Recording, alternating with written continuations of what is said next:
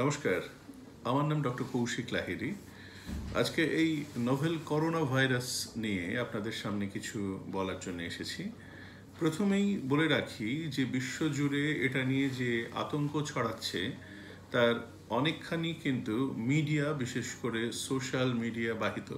তার কারণ পৃথিবীতে এই প্রথম কোনো ভয়ঙ্কর অসুখ আসেনি এবং এর থেকেও অনেক বড় বড় মহামারীর সামনে কিন্তু মানব সমাজ পড়েছে।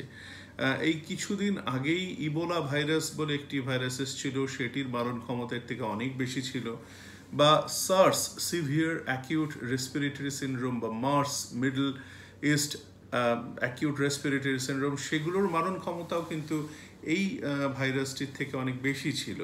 তাহলে এই ভাইরাসটি নিয়ে এত মানে নোভেল করোনা বা কোভিড নাইন্টিন যেটাকে বলা হচ্ছে, এত আতঙ্ক কেন?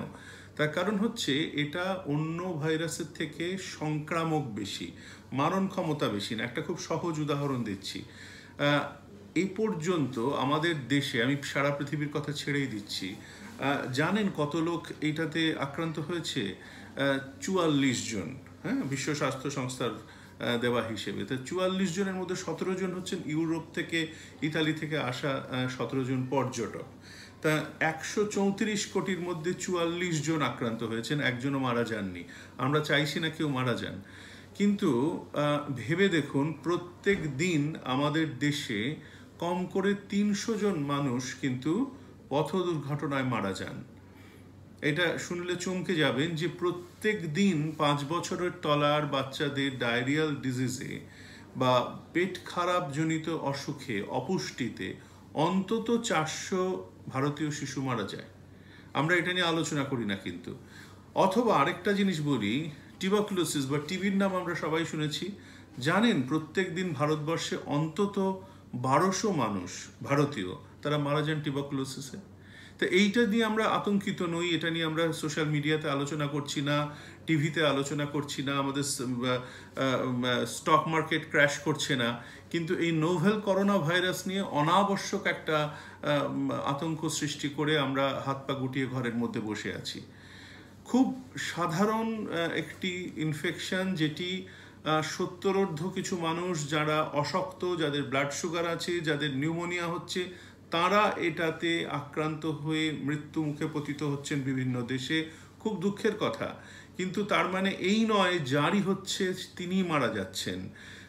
এক লক্ষ দশ হাজার জন এই পর্যন্ত এই অসুখটিতে আক্রান্ত হয়েছেন।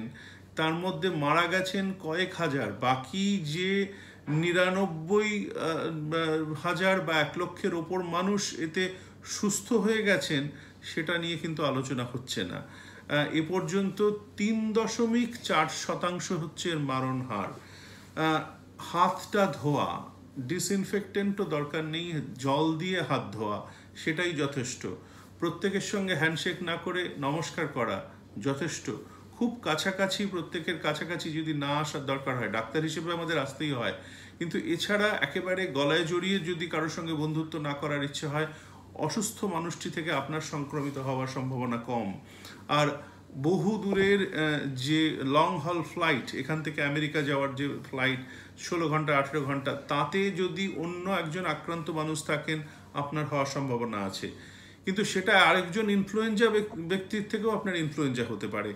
আরেকজন চিকেন পক্স আক্রান্ত ব্যক্তির থেকেও আপনার চিকেন পক্স হতে পারে। এইটা আমাদের মাথায় রাখা উচিত। অন্য অনেকগুলো সংক্রামক অসুখের মতো এটিও একটি সংক্রামক অসুখ, যাতে একশো জনের মধ্যে তিন জন মাত্র মারা যান এবং তারাও অশক্ত এবং বয়স্ক। তাই জন্য এটা নিয়ে অকারণ আতঙ্ক সৃষ্টি করে সমাজে অস্থিরতা বাড়ানোর কোনো কারণ আছে বলে আমি মনে করছি না। নমস্কার।